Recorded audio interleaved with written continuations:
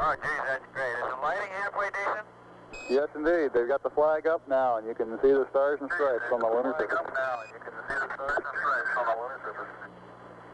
Beautiful, just beautiful. Time for this nation to take a clearly leading role in space achievement, which in many ways may hold the key to our future on Earth. We choose to go to the moon in this decade and do the other things, not because they are easy, but because they are hard. So the three astronauts are now going through the procedures. Target for the Apollo 11 astronauts, the moon at liftoff will be at a distance of 218,096 miles away. Four, three, two, one, zero. We have a liftoff. 32 minutes past the hour. Liftoff on Apollo 11.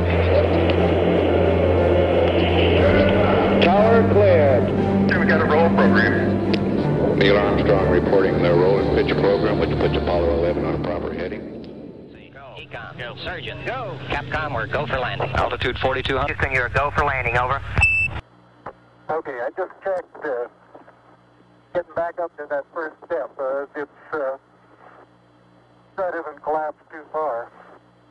That's one small step for man, one giant leap for mankind. Small step for man. Pequeño paso para One giant leap for mankind es ist